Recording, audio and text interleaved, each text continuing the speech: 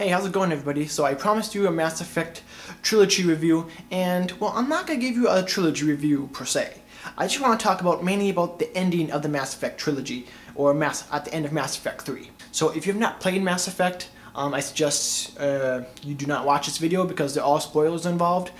But either case, if you have played it, you probably and you've beaten the game, you probably know where I'm coming from. And even if you don't play the Mass Effect trilogy, you probably have heard stuff on the internet about all the controversy surrounding the ending of Mass Effect 3. So I'm just here today to give you my opinions on the matter.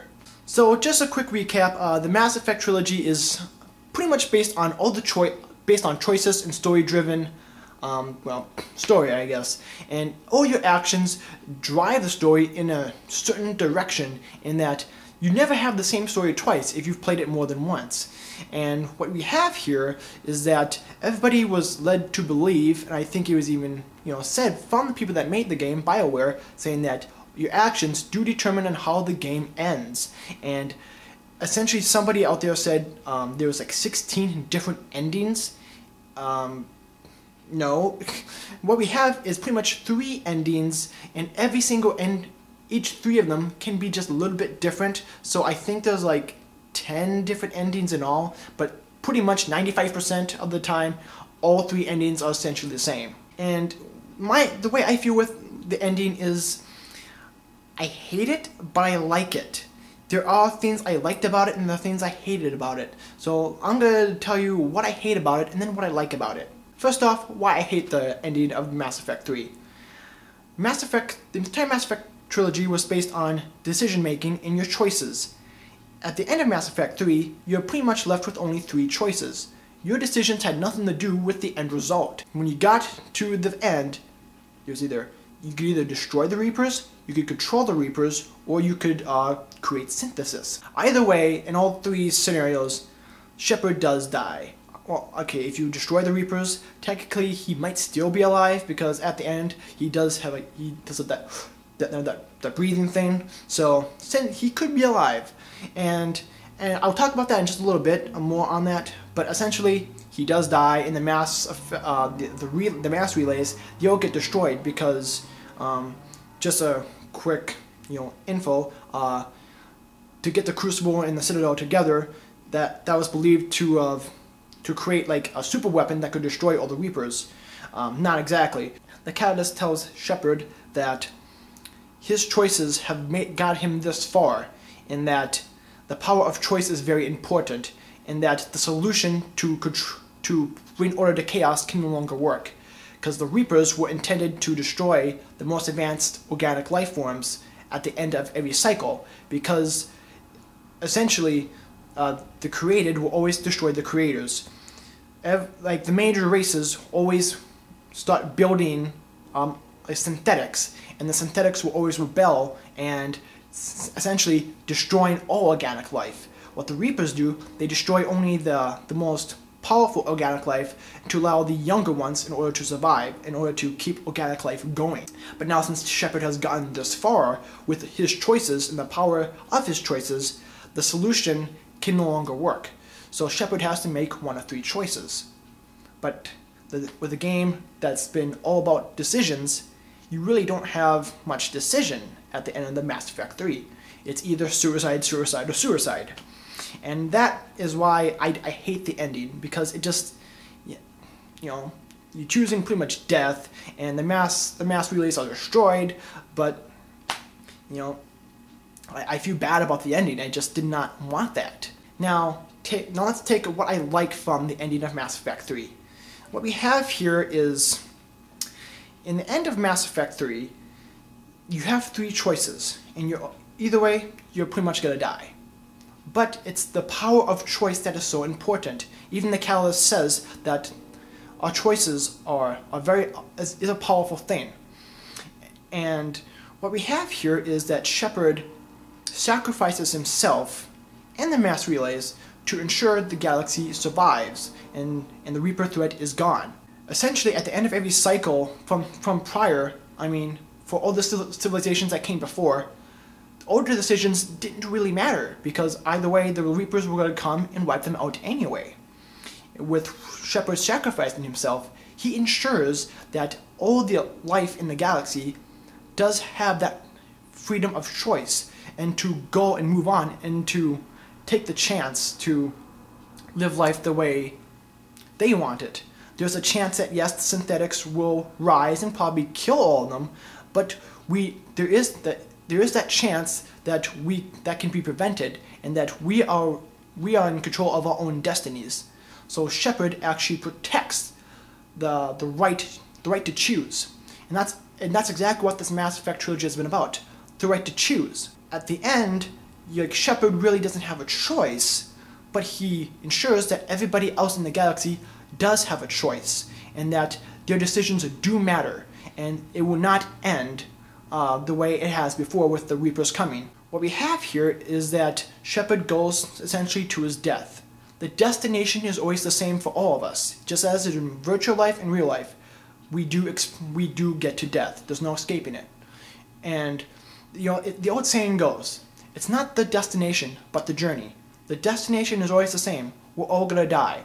All our decisions, all our choices, it doesn't matter. We will die uh, at the end of our lives. Same thing happened to Shepard. He did die.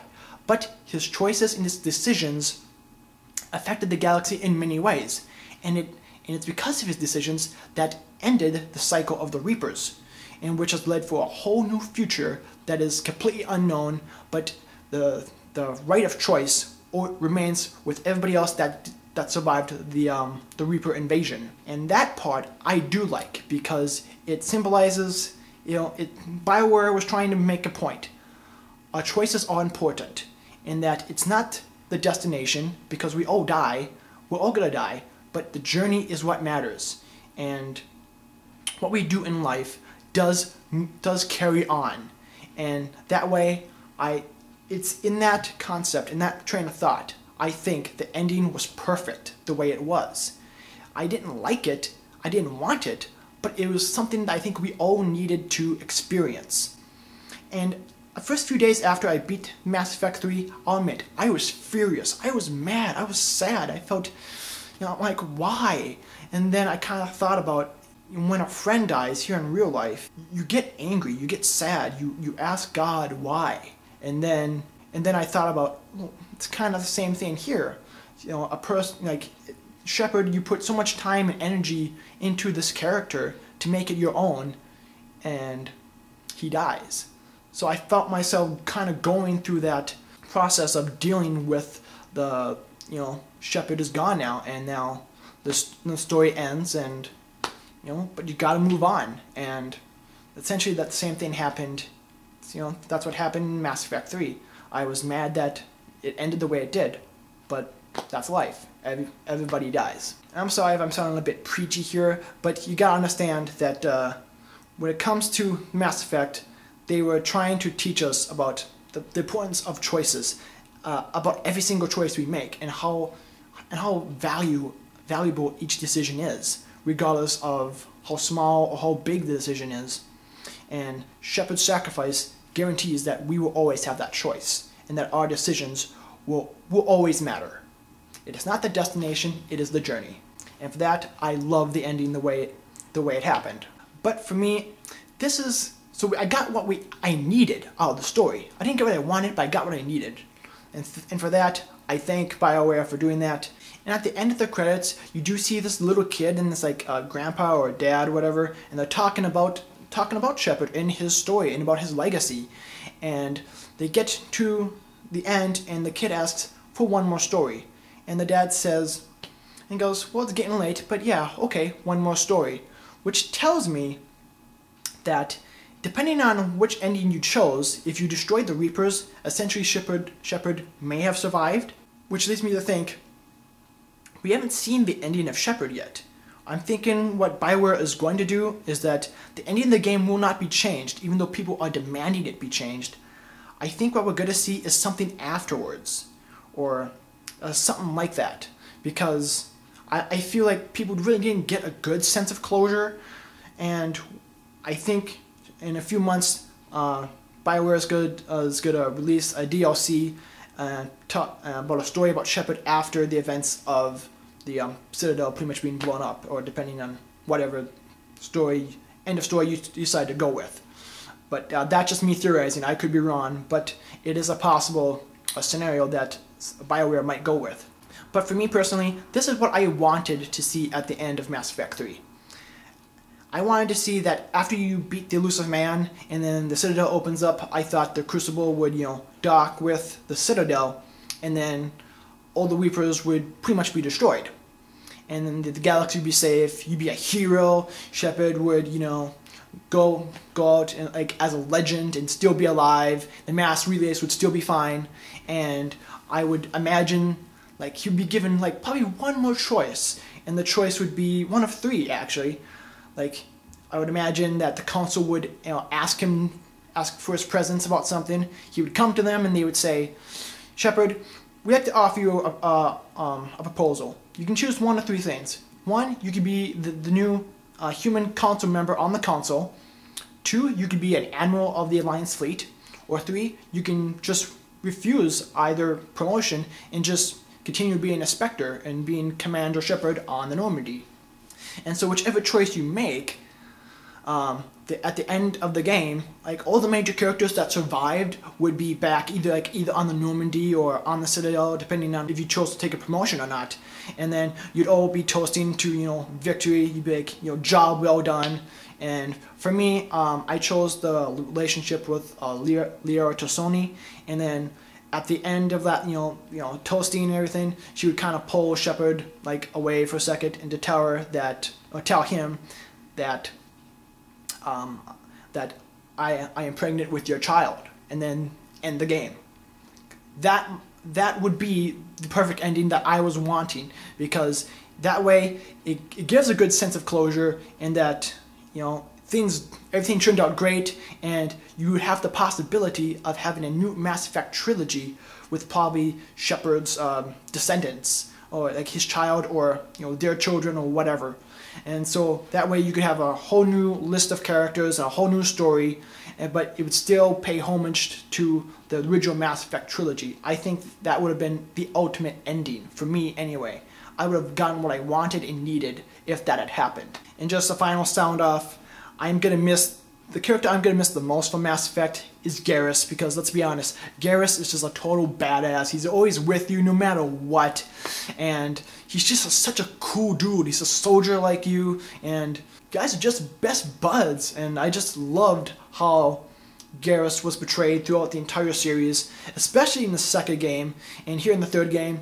You know, he's just he's just straight up loyal. He's awesome. Gonna miss Garrus a lot as, as well with all the other characters because every single character was so deep and well just so involved in the story that yeah, it's sad to see all of them go but they were all great characters and I'm gonna miss them all. So um, that's it from this video here. Like I said we didn't get what we wanted from Mass Effect 3 but we got what we needed and that I'm I'm happy with it. And Mass Effect trilogy one of the greatest trilogies of all time. And wait for it. Yes, I'm going to say Mass Effect 3, the greatest video game I have ever played, period. No matter what the, the end of the story is, I loved playing this game. And actually, I should tell you, I read like in one of those um like gamer guides of the Mass Effect game, if you play Mass Effect 3 twice, at the end of the second time, you get something else at the ending. So, I'm wondering what is, is it a, is it a better ending? I don't know. So I'm almost I I almost I don't want to play it again because I know the ending. But if there's another ending after I play it twice, like will I be more satisfied? So I'm actually kind of curious, and I, I just might play Mass Effect 3 again, just to see what that um, new ending is or what what is different at the end.